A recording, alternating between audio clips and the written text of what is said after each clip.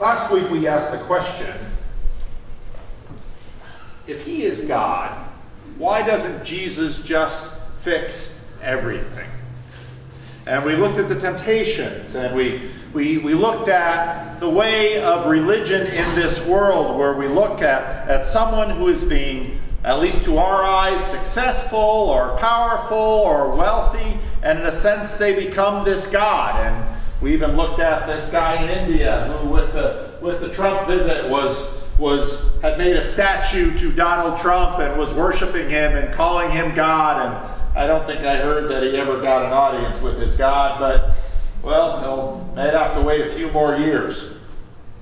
And we see how all three of these things are often get bound up the personal and the religious and the political. Why won't God help us out of our scrapes? Why won't God vindicate our religious allegiance and, and, and help us to, to be seen as right as opposed to the others? Why won't, why won't God pick up the sword and bring justice to the world in the ways that we expect?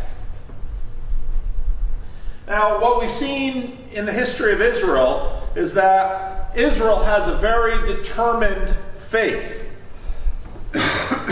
Problem is now when you cough, everybody, you know, runs for the hills.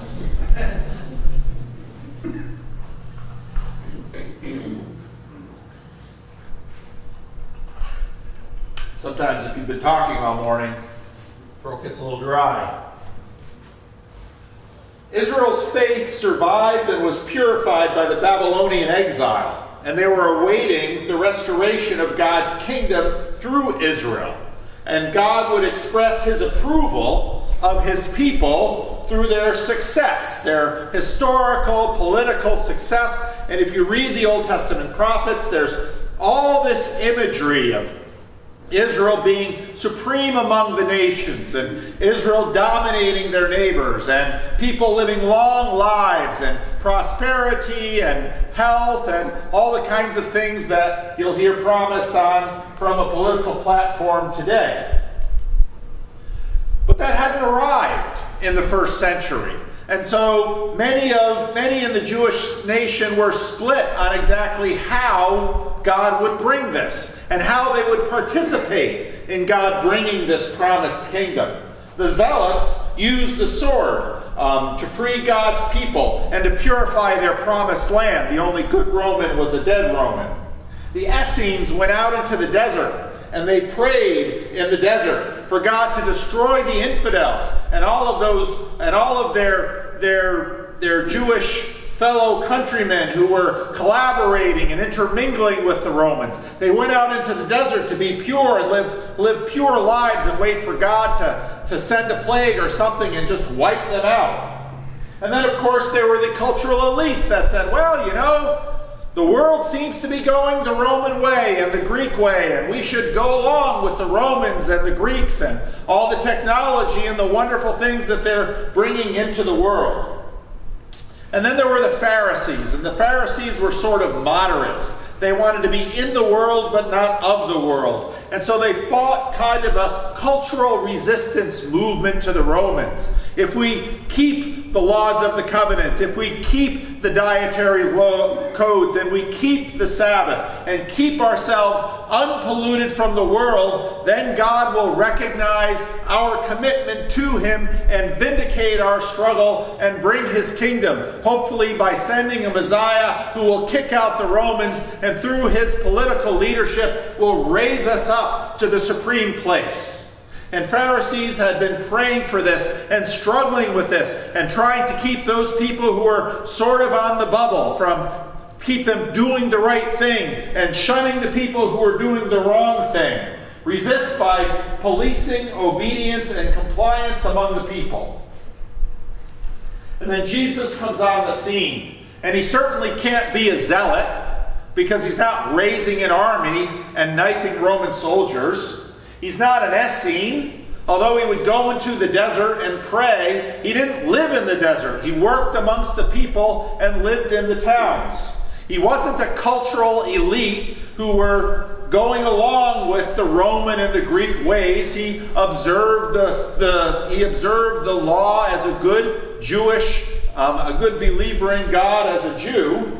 And so the Pharisees see Jesus and think, all of that power he's demonstrating, the popularity he's exhibiting, what if Jesus would become a Pharisee and use that power?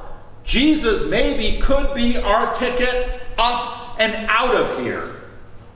So, when Jesus was in Jerusalem, there was a Pharisee, a man named Nicodemus, who was a member of the Jewish ruling council.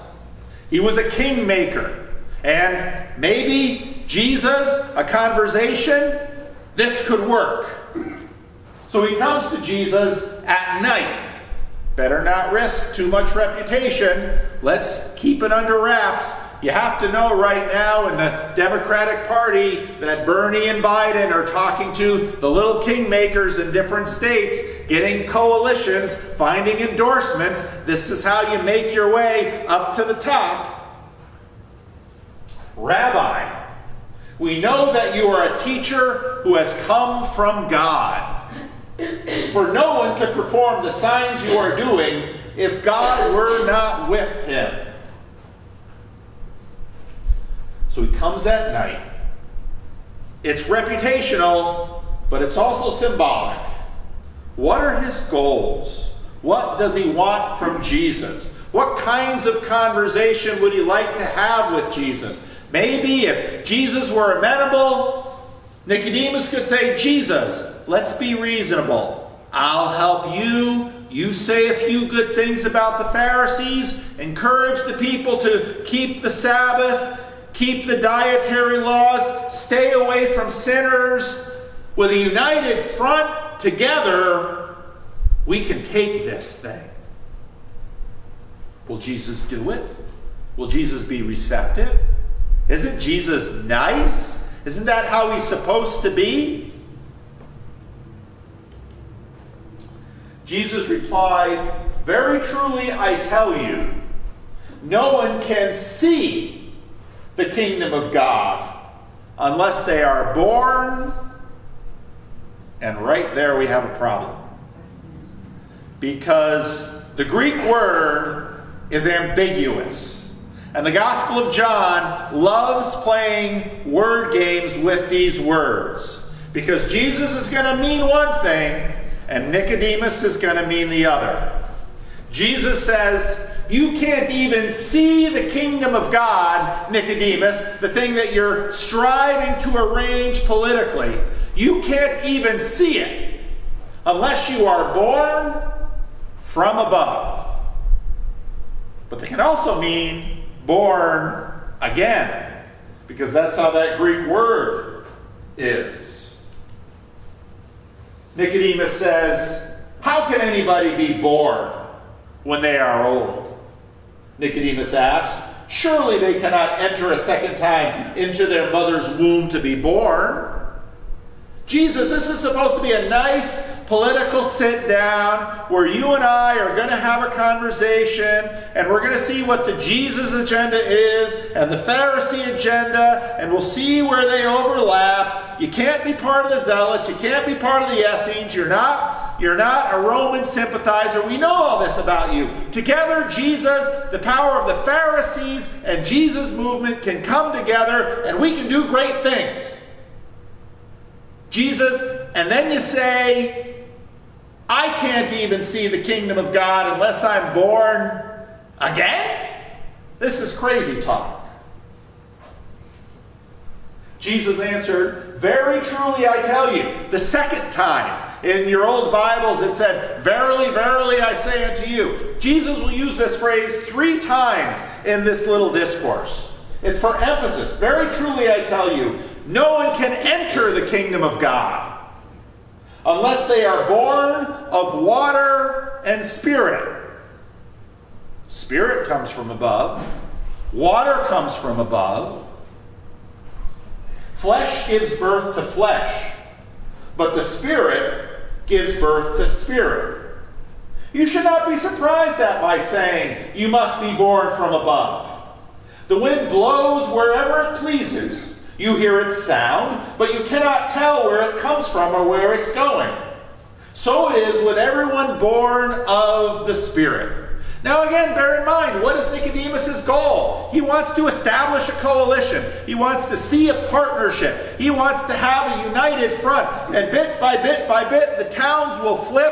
And then, one way or another, a leader will arise. And if someone has the power of Jesus, Roman troops shouldn't be a problem. And, and bit by bit, God's kingdom will come. And Jesus doesn't seem to want to play political ball. Jesus, Nicodemus again asks, How can this be? You're talking crazy to me, Jesus. Jesus responds, You are Israel's teacher, said Jesus, and you do not understand these things? So not only is Jesus not playing ball politically with Nicodemus, now he insults him. Very truly, I tell you, third time, we speak of what we know Who's we? Nicodemus starts this conversation saying, We know you are from God. Well, Nicodemus, if you really believe that, you'd probably be listening more than debating. We speak of what we know, and we testify to what we have seen. But still, you people, oh, where's, where's Ross Perot? Anybody remember Ross Perot? You people do not accept our testimony. I have spoken to you of earthly things, and you do not believe. How then will you believe if I speak of heavenly things? No one has ever gone into heaven except the one who came from heaven, the Son of Man. See, here's the thing Nicodemus comes to Jesus, and he's going to maybe strike a bargain and he says, Well, you've come from God. And here Jesus basically says, You have no idea how much I've come from God. And you come to me in order to strike a little political deal? And then Jesus uses this phrase again, the Son of Man, from Daniel 7. And remember, in Daniel 7, the Son of Man figure is, is this imperial figure that inherits a kingdom of the world. And Jesus uses that about himself here. So, so Nicodemus, Nicodemus is a leader, and so he understands the reference and he understands how this plays out. But Nicodemus doesn't act like he's talking to the Son of Man. Just as Moses lifted up the snake in the wilderness, so the Son of Man must be lifted up, that everyone who believes may have eternal life in him. And right now it starts to get weird. Because again, Daniel 7, the Ancient of Days sets up the throne, and these sea monsters, which represent the empires, the Roman problem, are put down, and coming with the clouds of heaven is the Son of Man, and he is given an eternal kingdom. Nowhere in that story does the Son of Man lose, nor could lose.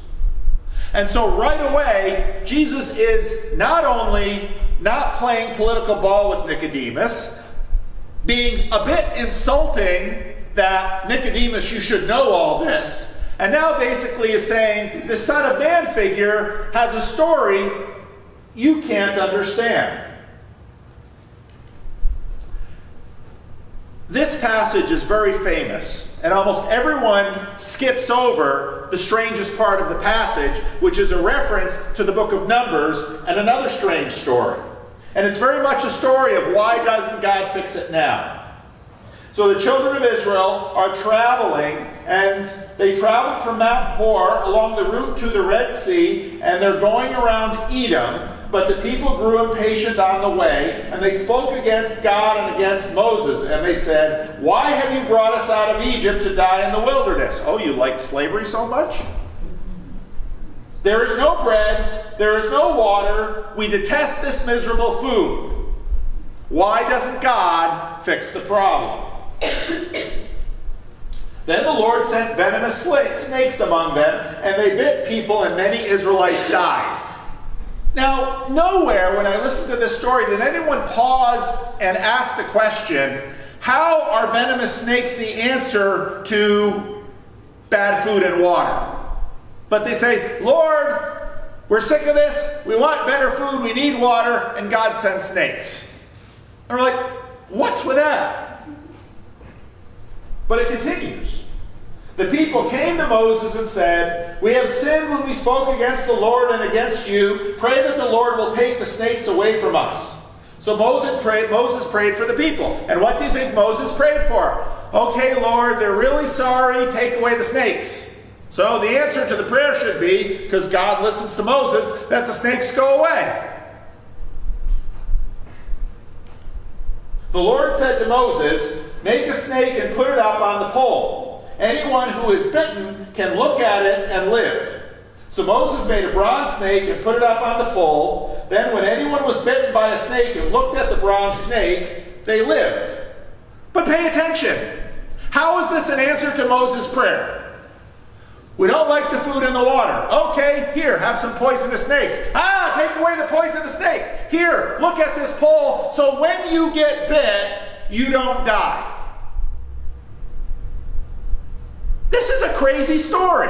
And I learned this story as a kid, and nowhere did anyone ever say, What's going on with this story? And this is the story Jesus points out to Nicodemus before Jesus is about to give the Bible verse that gets propped up at stadiums. It's a tremendously strange story. And why does Jesus bring it up here? The snakes don't go away. The people still got bit. The people still got sick. They forgot about the food and water. It's like saying, Oh, Pastor, I've got a headache. And so I stop on your foot. You say, Ow! You say, Forgot your headache, didn't you? well, yeah, okay, Pastor. That's not much help. Those who looked on the bronze snake lived. Now let's read the rest. Just as Moses lifted up the snake in the wilderness, so the Son of Man must be lifted up, that everyone who believes may have eternal life. And when we hear that, we usually think, well, life after death or something like that. But that strange little word, eternal life, in English really means life of the age, which we don't understand because the Bible tells time in two ages. There's the present evil age of decay where we all live and things are uncertain and plagues come up and, and life is, and 24 year olds get paralyzed. That's the age of decay. And then there's the age to come. And that stuff doesn't happen in the age to come. It's a different, not a different length of life, but a different kind of life. For God so loved the world that he gave his one and only Son, that whoever believes in him shall not perish. That's what happened with the snake bite victims, right? They wouldn't perish. But have the life of the age to come. For God did not send his Son into the world to condemn the world, but to save the world through him. Whoever believes in him is not condemned. But whoever does not believe stands condemned already because they have not believed in the name of God's one and only Son. Very famous passage. We always forget about the snakes. There's a strange connection here because, in some ways, Jesus is just like the snake. Nicodemus is here saying, We got problems with Greeks and Romans and wobbly people. Lord, we want you to send a remedy to the Greeks and Romans and wobbly people. And what does God send? Jesus.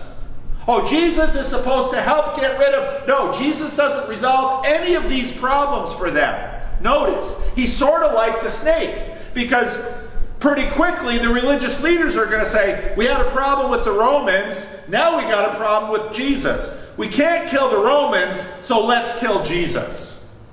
That's what they do. Jesus is sort of like the serpents. How is Jesus an answer to prayer? Nicodemus might have asked. Jesus is like the serpent sent to the people complaining about food and water. Israel's heart continues to be unchanged from the desert wanderings. Israel's leader, Nicodemus, needs new eyes and a new way something from above in order to see or enter the kingdom. Israel's leaders, remember what time of day he came at night? Live in darkness.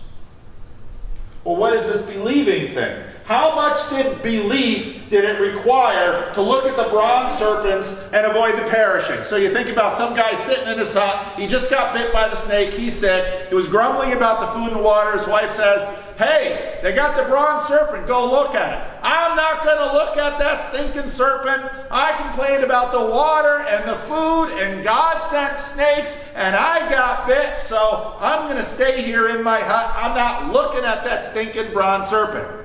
What's his wife going to say? Die then. Yeah, die then. Your own stubbornness is going to get you killed.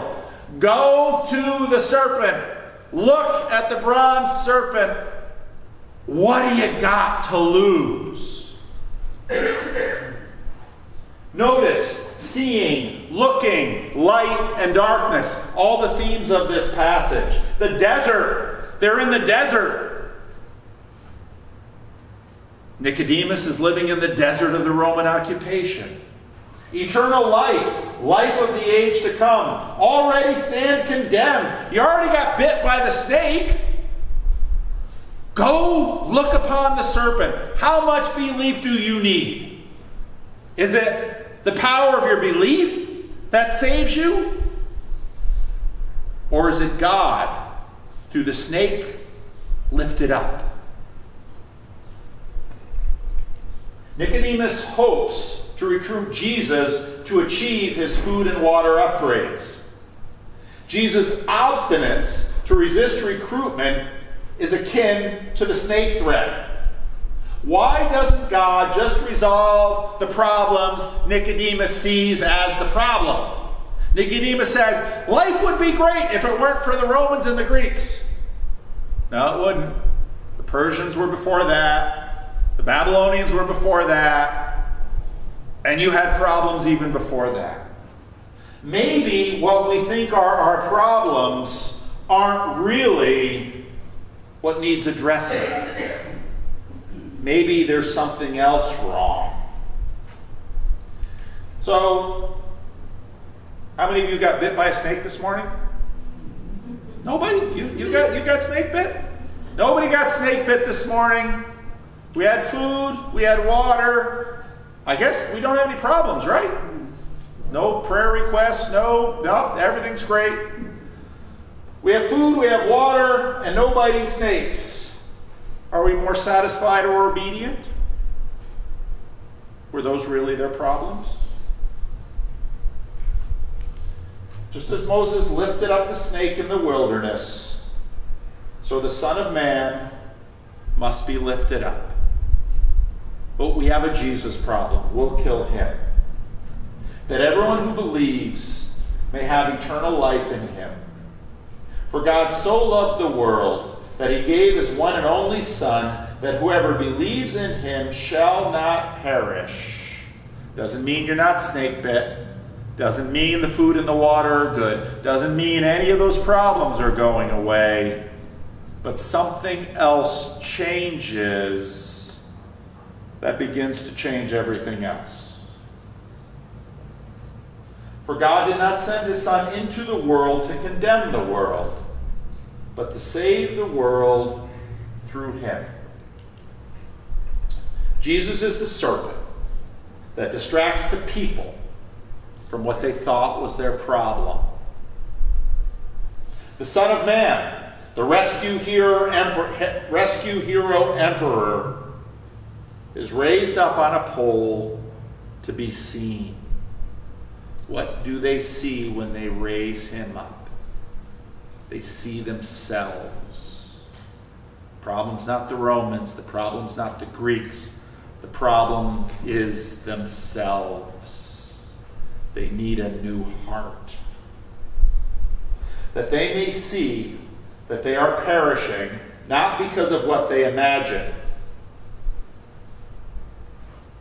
and looking on Him and seeing Him, born from above, like water and spirit, they begin to change.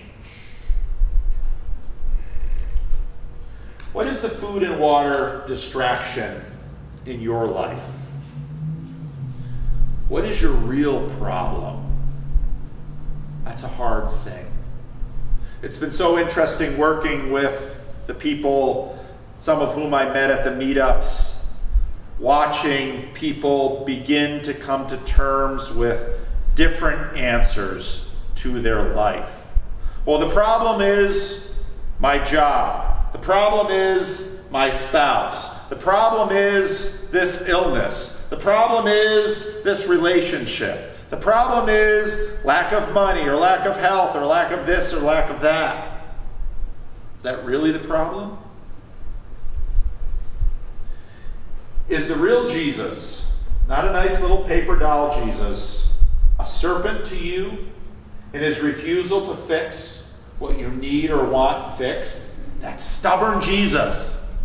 So stubborn. Why won't he resolve my problems the way I want Him to? Will you bother even to look at Him raised up just for the chance that you might not perish? Let's pray.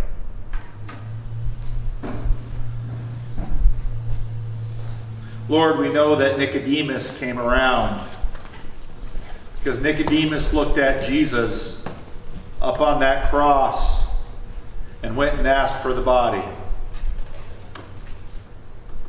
Lord, we don't know how we change. We don't know why we change. We spend so much time worrying about things that are incidental, distracted by things that are important but not essential. And at some point, you break through. And we begin to realize that, as is so often the case, the things that we thought were problems were actually messengers from you to shake us out, to shake us out of our self-sufficiency and our and our self-righteousness and our self-deceit and have us see you for the first time to come to that son of man lifted up and to recognize that our new life, our new birth comes from above. So, Lord, work in our hearts, change our assumptions, help us to begin to see with new eyes given by you. This we ask in the name of Jesus. Amen. Would you stand?